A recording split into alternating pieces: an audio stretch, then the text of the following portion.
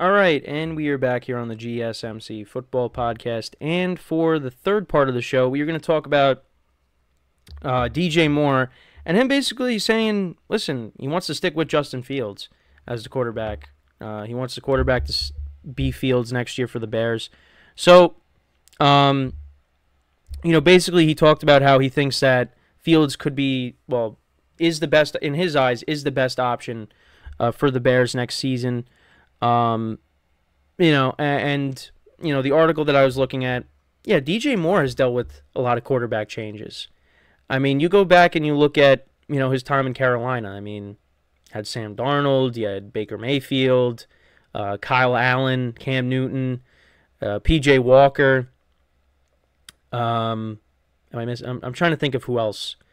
Um, but yeah, I mean, it was just a lot of a lot of quarterbacks that DJ Moore had to, uh, you know, get the the ball thrown to him from. And um, you know, now he gets traded to Chicago. He puts together a, a really good first season with them, and now all of a sudden there could be a quarterback change, and you know he doesn't want that he definitely doesn't want that. And uh, I mean, listen, he's backing his quarterback. I mean, Justin Fields, I talked about last week that Justin Fields wants to stay in Chicago, but he knows it's a business and he just wants it all to be uh, to be over. But you know, again, this is up to the Bears and what they're going to do. They're going to have the final say. But yeah, DJ Moore, solid season with the Bears. His first season with the Bears, 96 receptions for 1,364 yards and eight touchdowns.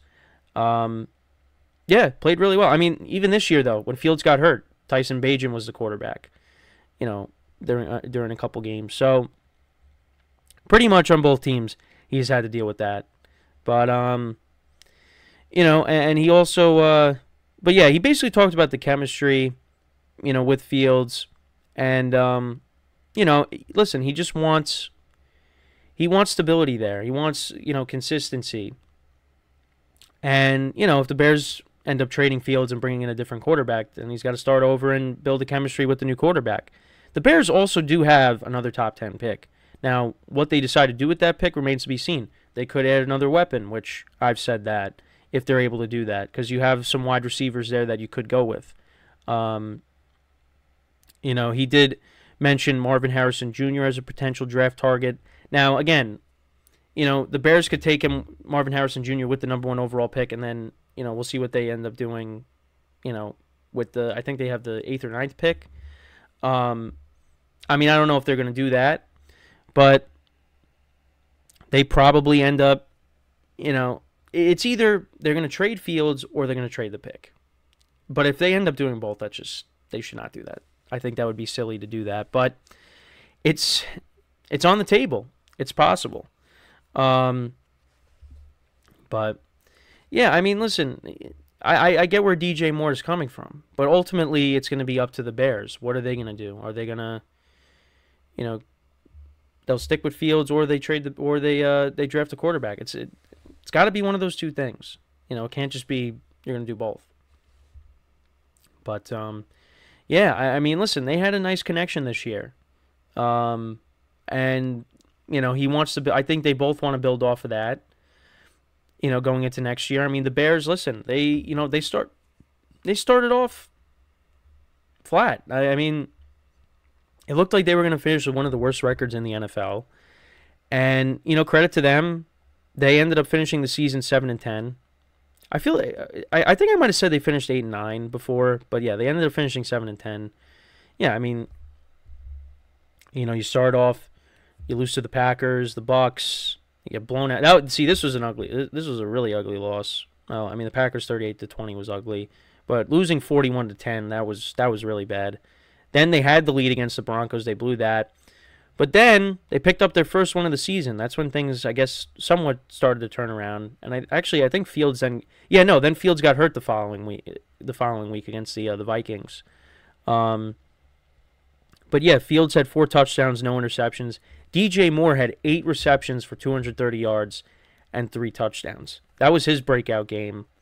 Um, actually, we'll take a look at all his stats from the uh, from the season. Well, individual games, but yeah, I mean, you know, the first game, two receptions for 25 yards, then got involved, more involved, six receptions for one for 104, three for 41 in the touchdown against the Chiefs, uh, eight for 131 against the Broncos and a touchdown. Then again had eight receptions for 230 yards and, and uh, three touchdowns against the Commanders. Um, you know, I mean, he put together he put together a solid season. Um, you know, that was a good trade for the Bears. Um, you know, and, and listen, I, I think right now they're in a position where they could be a decent team next year, and I think it's really.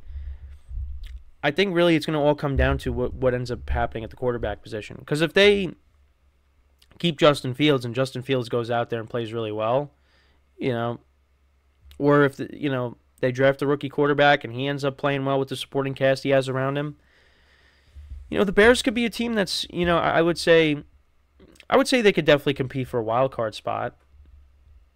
You know, and I don't think that's crazy to say, especially with how the conference is.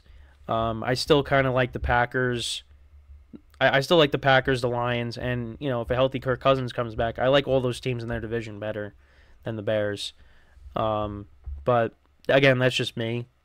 So we'll just have to, you know, again, wait and see what ends up happening there.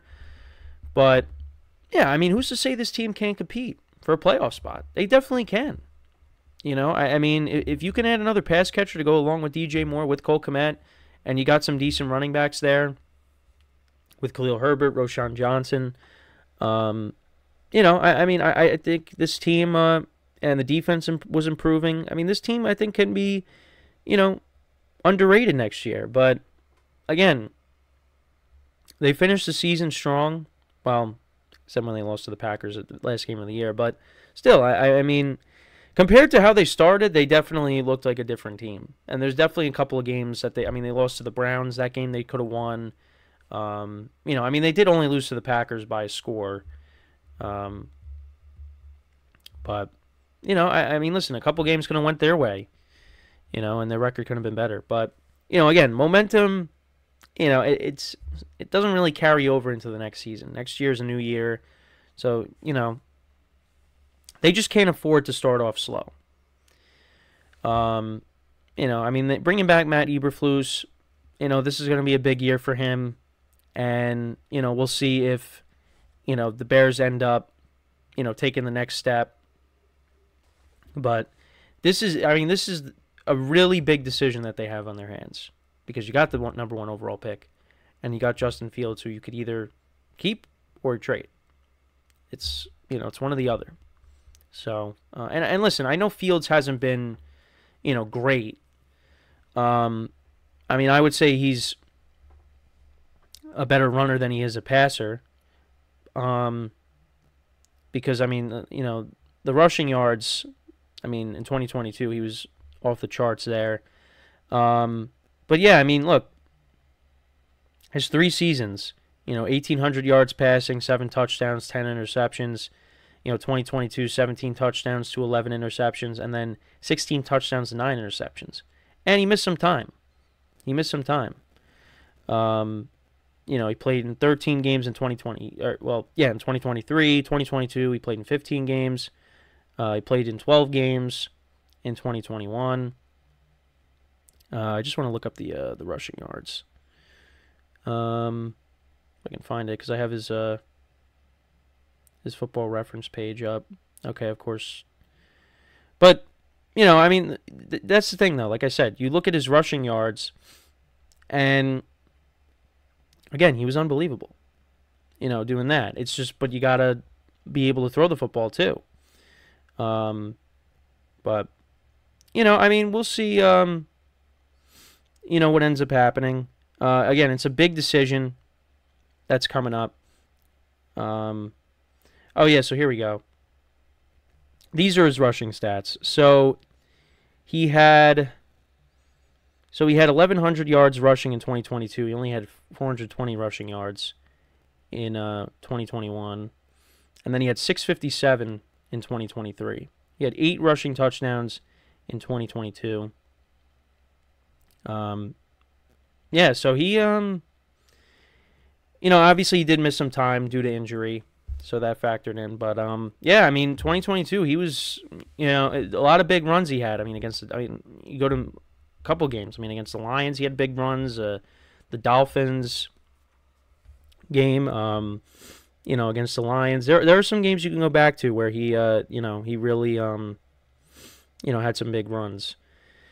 Um, you know, but obviously, again, you want him to improve as a passer.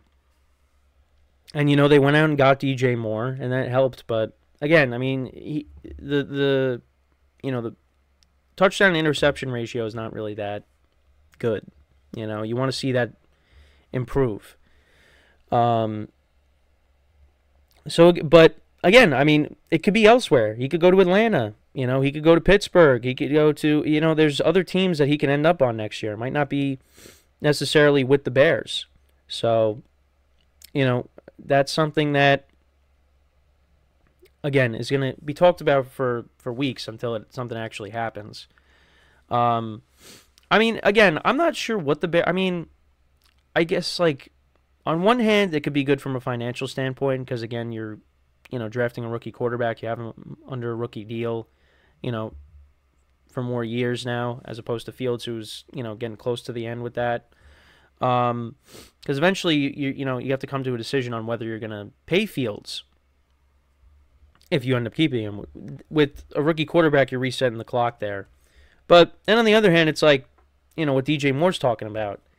You know, it's you got you already got chemistry, you got that rapport, you know, and now you're gonna have to figure it out again. Which I mean, again, I know it, it talks about how, um, you know, he's been with a lot of different quarterbacks. I mean, this should be no different. You know, you could get used to playing with the new quarterback. So, you know, it, it's again, I know there's some adjustments that you know he has to, would have to go through if they end up, you know, changing quarterbacks, but you're gonna have to do it. You know, if they if they end up doing it, because the Bears are gonna have the final say. And it's, listen, it's a big. it really is a big decision. But I mean, if you trade that pick and you get like a major haul for it, you know, like, and you just continue to build around Fields. Um, you know, I don't know. I, I just feel like I feel like Matt Eberflus might not be the right guy. You know, I, I, I, I don't know. We'll see. But yeah, Fields like he hasn't been spectacular. You know, since he, you know, first started. Like I said, you know, the rushing yards, that's been different. But you know, throwing the football, you want to see more. Um, so, again, we'll just have to, again, that's just another thing that we'll have to, you know, just wait and see on. But, um, yeah, so, yeah, that's, I mean, let me know what you guys think about this. DJ Moore talking about Justin Fields. Again, this is something that's going to be continued to talk about until a, a final decision, you know, ends up being made. But, um, with that, we are going to take our final break of the show. And then when we come back, we're going to talk about another quarterback, and that is uh, Derek Carr and the Saints reworking uh, his contract. So, with that being said, stick around, and we'll be right back here on the GSMC Football Podcast.